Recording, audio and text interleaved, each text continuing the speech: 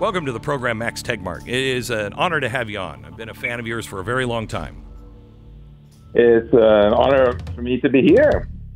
Uh, so, so Max, I'm seeing the statement that you have put out, and let's just can we go through it? Uh, here it is. We call for a prohibition on the development of superintelligence, not lifted before there is broad scientific consensus that that it would be done safely and controllably, and a strong public buy-in.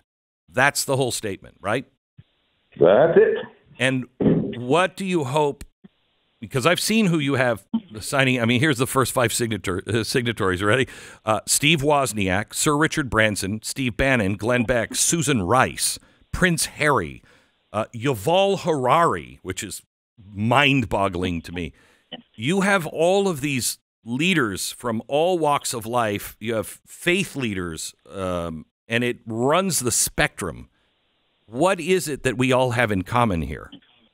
Yeah, and you also have um, the most cited scientists in the world, Yoshua Bengio and Stephen and and uh, Geoff Hinton. You know, they're like the Einstein and Oppenheimer of, of today, uh, who developed much of this technology and pioneering work, saying their own work. they're they're scared. Right. What these people all have in common uh, it, it was hilarious to see people express confusion and say this is such a bewilderingly diverse group of people. Why aren't they even agreeing on anything? It's because they're all human.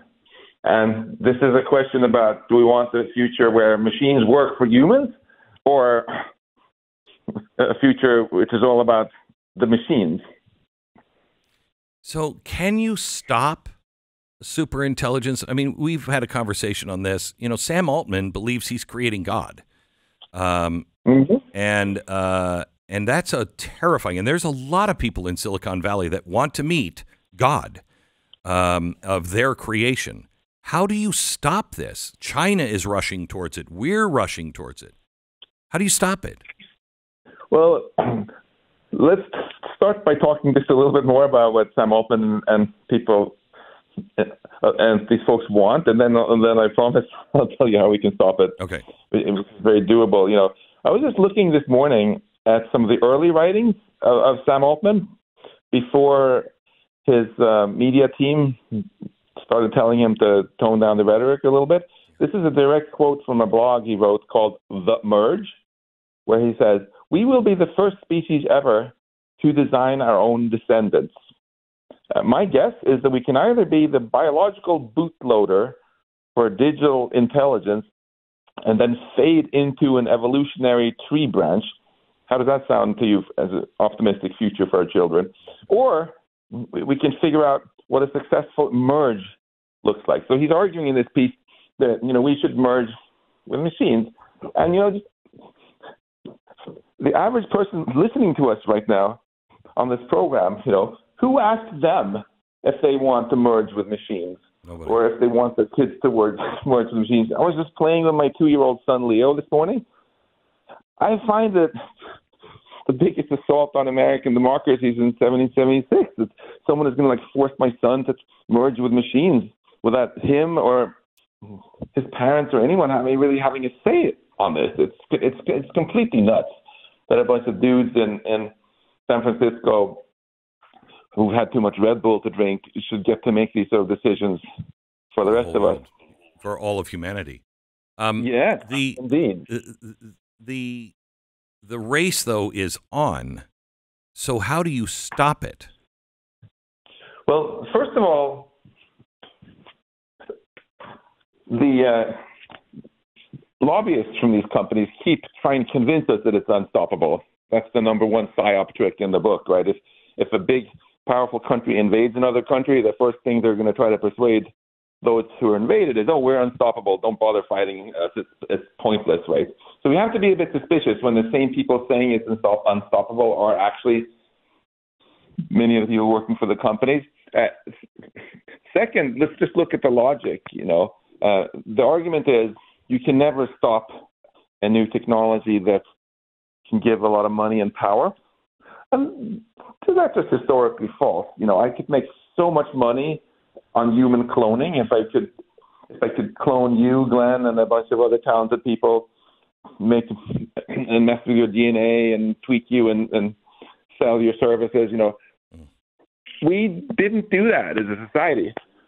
There was a big discussion about this in the 70s, and the consensus around the world was we could lose control over our species if we start messing with, with ourselves in that way. And we, it became so stigmatized, it just didn't happen. And there is, there is a guy. Wasn't there a guy who did it? Wasn't there somebody there in China guy, or? There was, yes, actually. So this is such a great thing that you bring up. People often say, "Well, if we don't do it, China's going to do it." Well, there was a dude in China who did it, and guess what the Chinese government did with him? They sent him to jail because they thought human cloning was a, a really bad idea. And you know, the Chinese government, the Chinese Communist Party, they really like control. So the idea that they're going to let some some oddball in China do something that could lose control over the human species doesn't land well there, right? And it's so this is where the optimism comes to your first question: How can we stop this? You know, there there is a race, of course, for dominance between the U.S. and China, uh, but there are actually uh, two races going on here. There is a dominance race, economic dominance, military dominance, technological, cultural dominance, and the way they win that race is with, by building tools that are controllable. Whereas there's there's a second race to see who can be the first to build super intelligence that we lose control over and that wipes out humanity, maybe. That's a suicide race. The, the way the U.S. or China will compete for, for dominance isn't, isn't taught by doing something that's going to take away the power from both countries. I think of this as just really analogous to something that happened already, the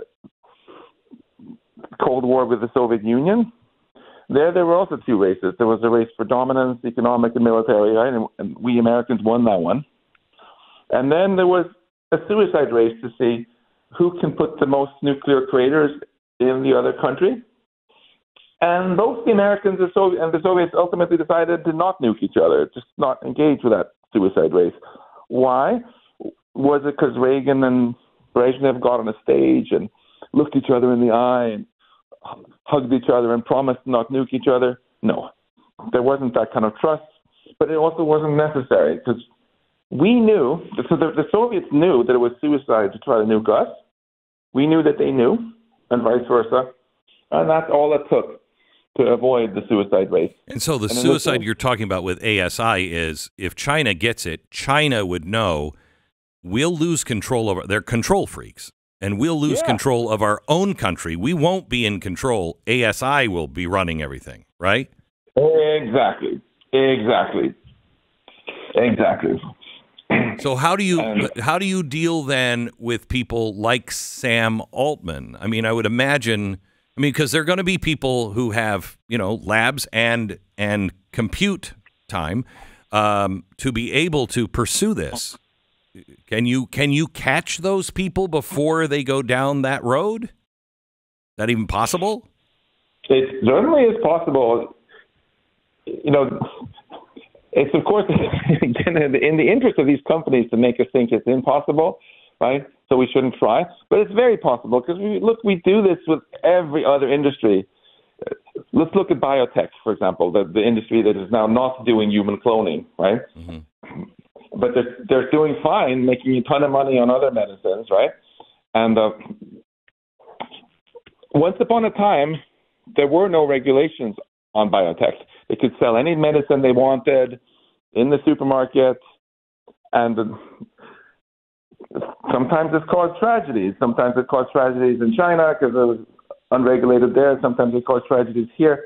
In the U.S., there was this drug called thalidomide. You probably remember, right? It caused over a hundred thousand American babies to be born without arms or legs, and that triggered so much anger that we got the political will to uh, regulate biotech. We created safety standards, the FDA, and now is actually a ban on selling unapproved medicines in the U.S. we can argue about how one could make that system less efficient, more efficient, right. eliminate corruption and stuff like that. But I don't know any serious scientists or people in biotech who wanted to abolish the FDA and then legalize thalidomide, right?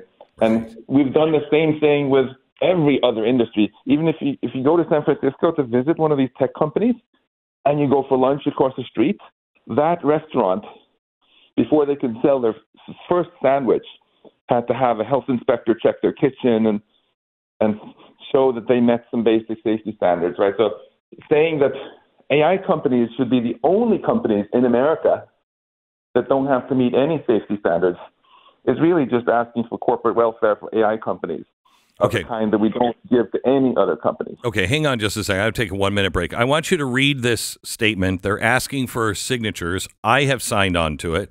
Um, there are plenty of people who I disagree on almost everything uh, that have signed on to it. There's plenty of people that are my friends that have signed on to it. Really, really brilliant people, faith leaders, et cetera, et cetera. Um, we we I think the reason why it's so diverse is because th- this is it. This is the end of humanity if we lose control of uh, our technology. It will become a master and not a tool. And I want you to go to futureoflife.org, futureoflife.org. Look for the superintelligence uh, statement. It was just released a couple of hours ago, superintelligencestatement.org. Uh, you can go there and find it, uh, or at futureoflife.org and sign it. And I want to ask, I want to ask Max what what your signature means, um, and what what what is this going to be used for? So, what is your goal with this statement, Max? Yes. Just for your reader, for your, our listeners here, futurelife-statement.org is where you can go and add your support for this if you'd like. The goal of this statement is to uh, make it publicly known that if you're concerned about this, you're not crazy. You're not alone. You, you have an incredible amount of support from um, thought leaders across the political spectrum here up until now, a lot of people who who have this horrible feeling that this is nuts, right, are afraid of speaking up because they tell me people. A lot of people have told me this because they don't want to sound like luddites, scaremongers, you know. Now is the time to to to speak up and say what you think because we this is this is this is Glenn. You're you're so right. You know the really the reason we're seeing such a remarkably broad group of people agreeing on this is because that's also what would happen if we actually got invaded by aliens from space, just like you said in the beginning, right? If some weird spaceships start showing up and, and shooting at us, everybody's going to team up on Team Human, Right, right. and that's what's happened. That's what happens now, and that's fundamentally also why we can stop this because almost nobody wants this. We also just released a poll showing that less than 5% of Americans actually want a race to, a race to superintelligence. That's less than 1 in 20 Americans, right? And yet we're having this stuff shoved down our throats. Um, Max, I can't thank you enough for this um, and uh, and all that you're doing. Uh, We need to have more conversations about uh, artificial intelligence, artificial superintelligence, general intelligence. The world is going to change, and m- millions of jobs are either going to change or be lost, and it depends on how we apply AI. Um, it's not something to fear if you realize it is a tool and you are the master. But too many people are just going to use this. Their brain is going to go soft, and they will let it take control of their lives and answer their, you know, make their decisions, etc. And then if it becomes general intelligence or super intelligence, you're a slave to it, uh, and it it has to stop. It has to stop. Uh, so if you would like to uh, sign this, I have signed it, and I, I, I urge you to sign this. Um, it's a very simple statement. Uh, we call for a prohibition on the development of superintelligence not lifted before there's a broad scientific consensus that it will be done safely and controllably and a strong public buy in. That's all you're signing. And you can go to superintelligence statement.org. I, I, I found it at futureoflife.org, and you can you'll find it there as well. You scroll down the page. But superintelligence-statement.org. I urge you to sign it and to pass it on to somebody else. This is a conversation we must have.